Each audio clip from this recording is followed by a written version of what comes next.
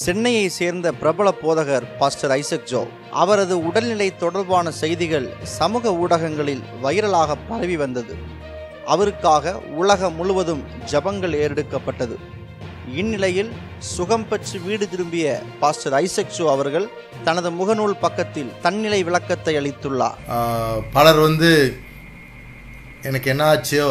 அப்படின்ட்டு நிறையா இந்த வாட்ஸ்அப்பு மற்றது மூலம் வந்து தகவலை கேட்டு அவங்க எல்லாருமே ரொம்ப வருத்தப்பட்டு அது மட்டும் இல்லை அநேகர் அதன் மூலம் ஜோம் பண்ணாங்க. ஸோ அவங்க அந்த வாட்ஸ்அப் மெசேஜ் அனுப்பிச்சவங்களுக்கும் நான் நன்றி செலுத்துக்கிறேன் ஏன்னா அவங்க அனுப்பிச்ச மெசேஜ் வந்து ஒன்றும் பொய் கிடையாது. என் உடம்பு சரியில்லாமல் தான் இருந்துச்சு. அவங்க கரெக்டாக தான் அனுப்பிச்சிருக்காங்க. அதனால் அவங்க மேலே யாரும் கோவப்படக்கூடாது.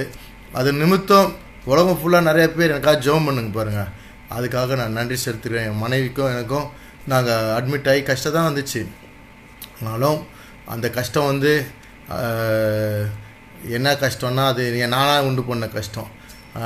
நானே வந்து மாஸ்க்லாம் போடாமல் ரெண்டு நாளாக ரோட்டில் நின்று நம்முடைய மியூசிக் ஸ்கூல்லாம் போய் பில்டிங் எல்லாத்தையும் அதை ரிப்பேர் பண்ணி ஆளுங்களை வச்சு வேலை செஞ்சேன். ஆனால் அந்த மாஸ்க் போடல நான். அதனால் அதோடைய தவறு ஏன் தவறாக இருக்கலாம். மிச்சப்படி நீங்கள் எல்லாம் பயிடாதுங்க கத்தர் நம்மளை காக்கிற தேவனாக இருக்கார். நமக்கு ஒரு கஷ்டமும் வராது. ஆனால் நான் பண்ண தப்பு என்னென்னா இந்த மாதிரி மாஸ்க்லாம் போடாமல் இஷ்டத்துக்கு போய் நான் பாட்டுக்கு என் வேலையை செஞ்சுருந்தேன். ஸோ ஆனாலும் இதுதான் பியூட்டி நம்ம தவறு செய்தாலும் அதுக்கும் மிஞ்சி நம்மளை காப்பாற்றி நம்மளை கருணையாக காப்பாற்றுற தேவனாக இருக்கார் பாருங்க. அதை தான் நம்ம பார்க்கணும். Even though we make some mistakes sometimes we have to pay heavily but God doesn't us down he will watch over us he protects us. And uh, இன்னைக்கு நான் வந்து சேஃபாக ஜீவனோடு என்னை இங்கே வச்சிருக்கிறாரு. நான் இன்னும் சரியாகி கொஞ்சம் ரெஸ்ட் எடுக்கணுன்றாங்க நிறைய காரியம் செய்யக்கூடாதுன்னு ரொம்ப எக்ஸாக்ட் பண்ணிட்டேன்னாங்க. என்னுடைய ஜூம் மீட்டிங்ஸ் அது இதுன்னு. பரவாயில்ல. கடவுள் என்ன சொல்கிறாரோ அவரோட பிரசனத்தில் காத்திருக்கிறேன். நீங்கள் கண்டினியூஸாக எனக்கும் என் பிள்ளைகளுக்கும் எங்கள் ஊழியத்துக்கும் ஜெபம் பண்ணுங்கள் நாங்கள் வீட்டுக்கு வந்துட்டோம். வீட்டில் ரெஸ்ட் எடுக்கிறோம். அதனால் சப்போஸ் உங்கள் ஃபோன் காலு அது இதெல்லாம் நாங்கள் எடுக்காமல் இருந்தால் எங்களை மன்னிங்க.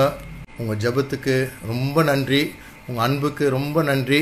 So continue to keep us in your prayers உங்களுடைய ஒவ்வொருவருடைய முயற்சி இந்த விஷயம் கேட்குறது அது இது பண்ணுறது கேட்டோன்னே நான் சொன்ன எல்லோரும் நம்முடைய ஃபேன்ஸு எல்லோரும் நம்மளை நேசிக்கிறவங்க ஒவ்வொருத்தர் விதவிதமாக எக்ஸ்பிரஸ் பண்ணுவாங்க.